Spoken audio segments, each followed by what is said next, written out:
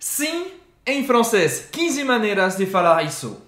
Você vai ver aqui como você pode responder sim de várias maneiras diferentes para você ter um francês mais fluido, parecer mais fluente quando você falar francês e, obviamente, para que você entenda quando os franceses falarem essas tantas outras maneiras de dizer sim em francês. C'est parti? Oui, allons-y! Allons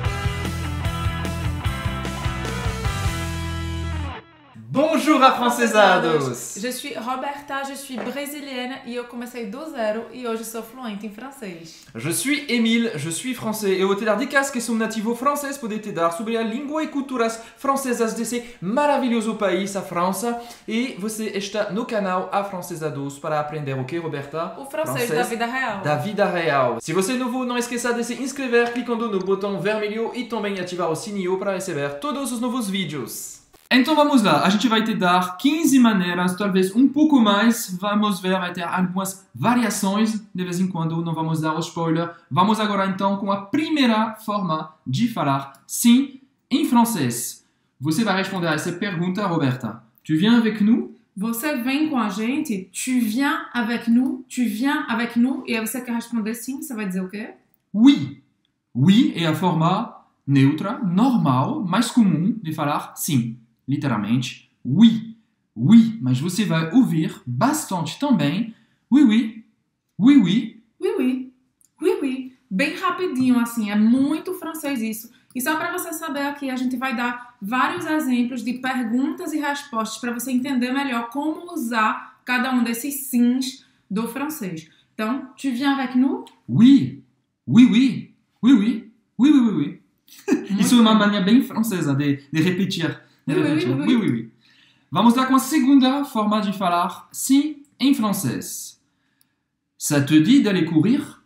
Ça te dit d'aller courir? Vamos imaginar que você quer correr. né? Então, essa pergunta significa ça te dit, significa você topa, você topa ir correr, né? Você topa correr, que a gente vá correr juntos? Ça te dit d'aller courir? E você poder responder ouais, ouais, ouais. O é significa exatamente oui, é a mesma coisa, só que o é você vai ver muito em situações informais. Então presta atenção se você está na dúvida se aquela pessoa está te dando intimidade o suficiente para você ser informal com ela ou não. Se você está na dúvida, usa o Oui. não usa o é, porque aqui é mais entre amigos, super informal. Super Você informal. vai ouvir muito isso nos filmes e nos seriados franceses. Ouais. E de vez em quando você pode ouvir esse ouais aspirado, falar assim. Ouais, falando assim. Ouais, ouais. Tipo, eu tô com asma. Ça te dit d'aller courir? Ouais, ouais. Hashtag francês com asma. Isso é o processo da vida real. É, Emily tem mania de fazer esse ué. E, e agora vai ter algumas variações desse ouais. Você pode ouvir wep, wep, com P no final, wep. Ou também mouais, mouais, com M no início. Ou também esse ouais, aspirer, aspirer. Uma outra maneira que eu acho que a gente não colocou é, tipo assim, aquele sim que é bem óbvio. Ben, ouais. Eles falam isso também. Como seria ben? Bah, B-A-H, eu acho, mas a gente não escreve isso, tá? A gente fala ué. Tipo assim, sim, claro, né? Ué. Então esse bah, aqui na frente, ele vai adicionar meio que essa obviedade de que a resposta é sim. Mais uma vez, não é para escrever isso, é só na, na fala, Então, tudo isso só na fala. Só na fala. Vamos agora com terceiro, terceira maneira de falar sim em francês. On se fait un resto ce soir? On se fait un resto ce soir? Isso significa, e aí, vamos para o restaurante essa noite? On se fait significa vamos fazer, vamos juntos ao restaurante, un resto esta noite, tá? Então, un resto, un restaurant. Exactement. C'est une, un mot coupé. On utilise beaucoup les mots coupés. Un restaurant, un resto. Et você vai responder, ok? Carrément! Carrément! Carrément! Dá ver que estou anim, animado para ir ao restaurante. On se fait un resto ce soir? Carrément! Então, carrément significa claro que sim, evidentemente que sim. Mas presta atenção que carrément também é extremamente informal, certo? E significa, inclusive, É, se a gente for traduzir essa palavra, significa quadradamente. Quadradamente, literalmente seria isso. Quadradamente, mas é muito informal. E você vai ouvir também isso muitos Muito franceses comum, falando. muito é comum. muito vida real isso. Carrément. Carrément. Autre maneira, c'est bien lui, le gérant du magasin. C'est bien lui, le gérant du magasin. É ele mesmo o gerente da loja? Então você está querendo confirmar uma informação. É ele mesmo o gerente da loja? C'est Como bien que eu lui. Você pode responder oui, acho claro. Você pode também responder tout à fait, tout à fait, tout à fait. Tout à fait vem para confirmar que o que a pessoa sugeriu é verdade. Então, ele quer saber se é ele mesmo o gerente, então eu vou confirmar, sim, é realmente ele. Presta atenção, o tout à fait é muito usado na vida real, mas muito usado na vida real. Mas a academia francesa considera isso um vício de linguagem. A academia francesa a gente sabe que é bem tradicional, então tem muita coisa que é o francês da vida real e que ela não quer aceitar, porque é old school. Então aqui o fait, apesar de ser uma coisa que você vai ouvir muito na França, nos filmes, nos vídeos do YouTube, tudo mais, a academia francesa não considera como correta. Então evita falar assim se você está passando uma prova, tá? Por exemplo, um DALF, um DELF. Não fala fait. Prefere outras maneiras que a gente vai falar ainda aqui neste vídeo. Tout à fait, Roberta. Tout à fait. Fica aqui com a gente. Tout à fait, Roberta. Vamos lá. Uma outra maneira de confirmar. Vous êtes Roberta Emile. Vous êtes Roberta Emile. Aconteceu com a gente num bar em Paris. Vous êtes Roberta Emile. Vocês são Roberto e Emília? A pessoa está querendo confirmar se é realmente a gente. A gente pode dizer Podia dizer tout à fait, mas também en effet, en effet. En effet. Então, en effet vem para confirmar. En effet é muito mais aceito de, de maneira formal do que o tout à fait. Então, se você estiver fazendo uma prova, prefira falar en effet. Ou en effet, eu posso continuar. En effet, c'est bien nous. En effet, c'est bien nous. En effet, c'est bien nous. Sim, é a gente mesmo. É isso mesmo. É a gente mesmo. C'est bien nous. Somos nós mesmos. Nous sommes bien Roberta et Emile. Ok Vamos agora com a sixième façon, sixième manière de dire oui en français. Je vous sers un thé Je vous sers un thé Eu lhe sirvo um chá. Je vous, ó, é formal. Je vous sers Você thé. está num, num restaurante, você está num café. Je vous sers un thé Você Eu pode posso responder volontiers. Volontiers. Je vous sers un thé Volontiers. Volontiers é como se você estivesse dizendo eu me voluntario para o que você está sugerindo. Então, volontiers serve muito quando alguém está te oferecendo alguma coisa, te propondo alguma coisa para consumir, para sair para uma festa, para sair para um...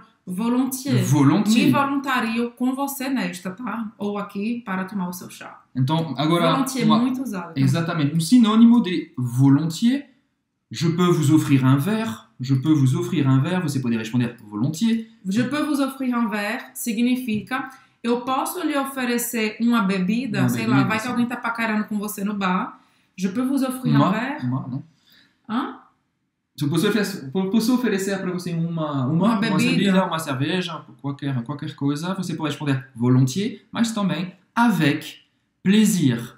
Avec plaisir, literalmente com prazer. Com prazer. Com prazer, com prazer. Então, é, je peux vous offrir un verre. Un verre seria literalmente um copo, tá? Mas aqui significa uma bebida geralmente alcoólica, quando a gente fala. Então, avec plaisir é muito usado para dizer sim. Muito. E também é usado quando alguém fala merci, em vez de responder de rien, de nada, você pode responder também avec plaisir. Uma forma linda de falar. Uma... Com prazer, foi um prazer, prazer. te ajudar. Uhum. Então, com prazer pode ser usado aqui para dizer sim ou também para dizer de nada se alguém está te agradecendo de alguma coisa. Exato. Muito, muito usado no francês da vida real. Então, anota e treina também em voz alta. Avec, plaisir. plaisir. AI em francês, hein, nesse, no meio dessa palavra, play. Plaisir. Avec plaisir.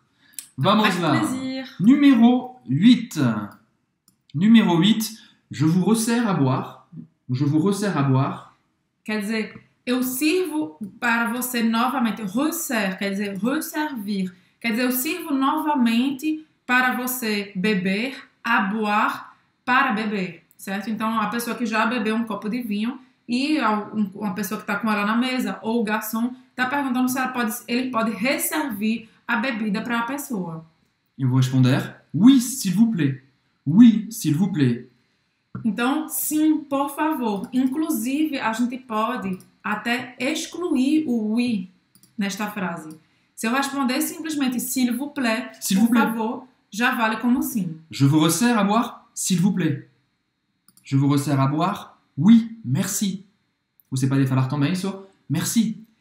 Já Oui. agradecendo, né? Exatamente. Oui, merci, sim, obrigado, ou sim, obrigada, ou simplesmente merci. Porque você tá- já está agradecendo a pessoa por ela fazer, então quer dizer que você quer. Então, pode falar simplesmente s'il vous plaît ou merci, e no contexto a pessoa vai entender. Porque se você falar não, não, merci, a pessoa sabe que não é para fazer, tá? Então Exatamente. aqui, super simples isso, né? Ótimo. Vamos agora numéro 9. Numéro 9. On se voit ce soir? On se voit ce soir? A gente se vê essa noite? Bien sûr. Bien sûr. Bien sûr significa claro que sim. Claro que sim. É mais do que. É um sim enfático. Bien sûr. Presta atenção nessa pronúncia, tá? O U, a gente faz a boca do U e fala I, e a gente vai pronunciar esse R no final. Bien sûr. Bien sûr. Bien sûr. Tenha com a gente. Bien sûr. Isso foi a nona maneira. Vamos agora com a décima. On se voit ce soir. Eu vou deixar a mesma frase. A gente se vê essa Ok, noite. agora vai ser um sinônimo de bien sûr, évidemment, évidemment, obviamente. Evidentemente. Agora Evidentemente. presta atenção. Eu confundia muito isso, principalmente na escrita. Dá pra ver que a gente escreve esta palavra assim, mas a gente diz évidemment. É, como se fosse um... Ah, évidemment.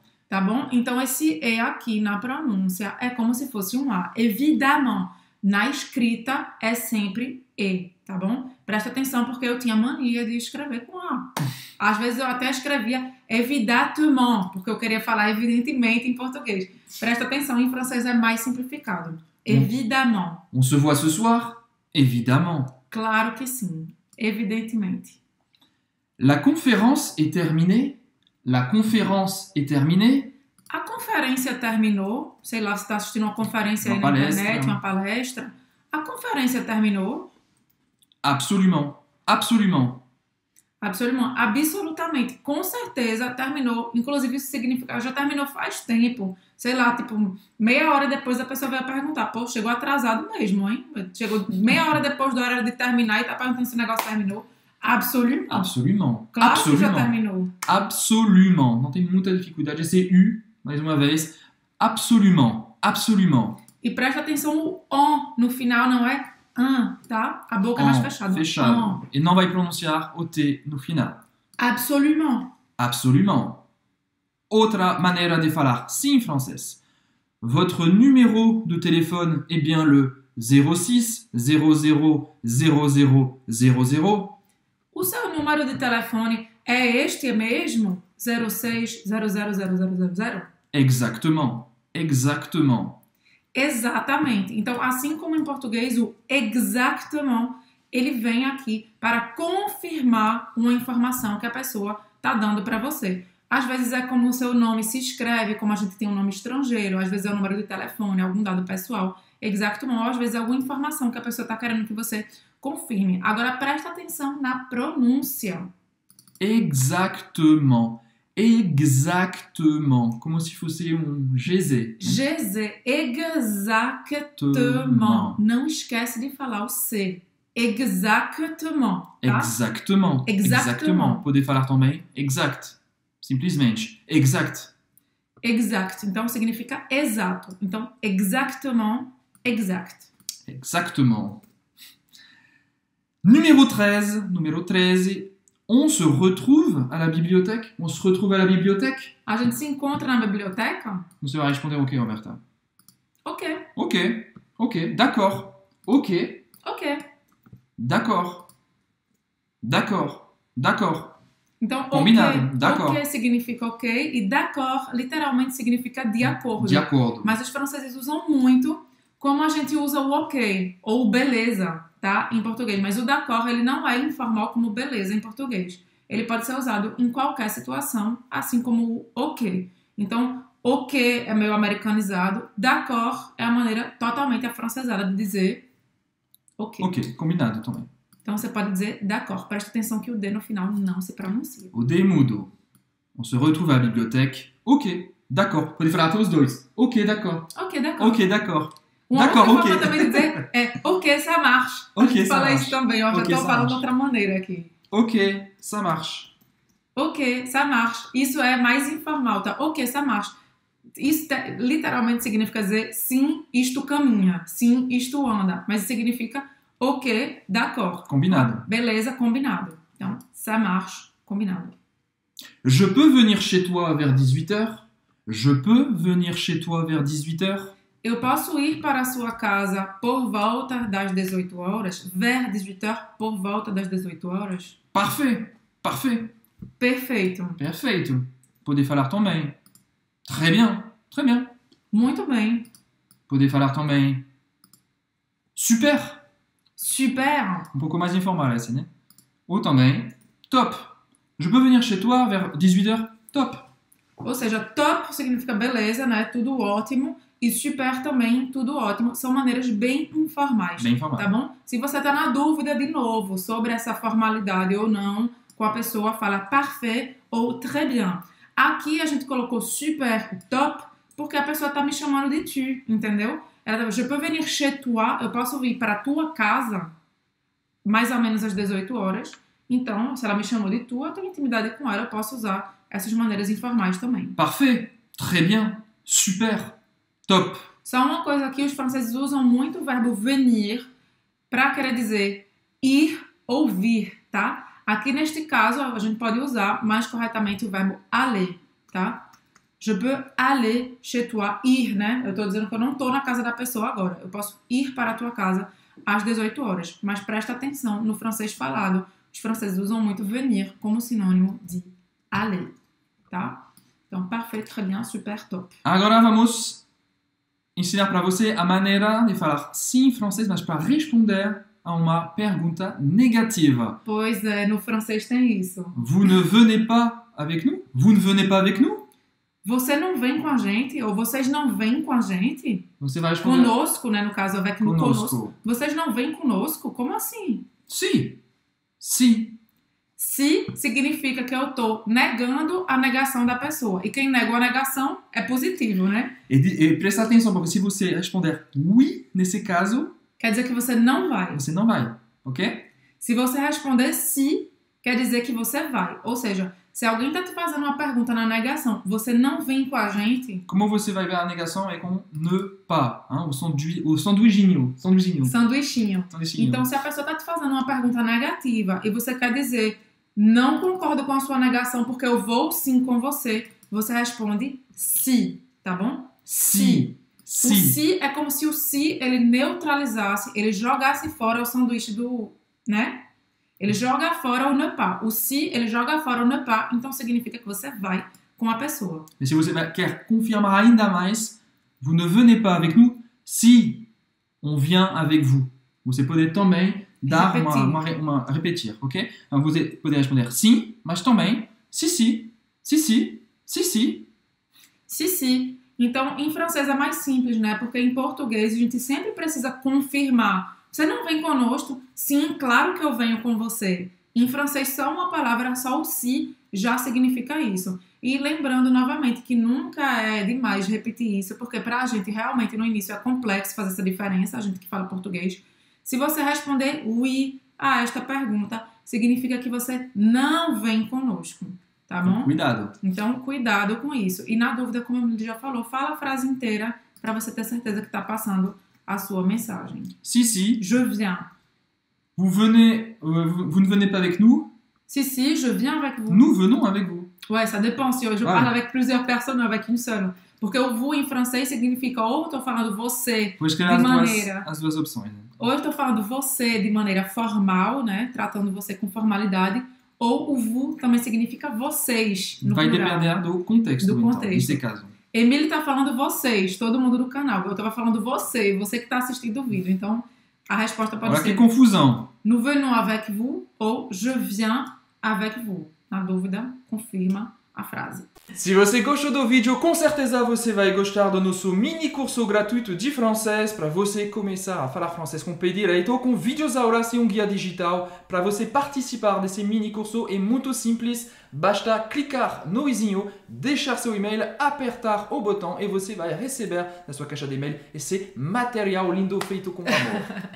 E a gente se... Ah, não, claro! Ah, se é. você gostou do vídeo, não Gema. esquece de deixar o seu gema. Oui, oui, oui. O seu like aqui embaixo. Eu já ia esquecer, mas é muito importante pra gente que você deixe o seu like aqui no vídeo pra gente saber que você tá curtindo nossos conteúdos e também pra o YouTube perceber que esse conteúdo é relevante e ajudar a levar esse conteúdo pra outras pessoas que também querem aprender francês. Vamos afrancesar o Bras- o Brasil E o mundo! e o mundo. A gente se vê no próximo vídeo. Até Salut. a prochaine!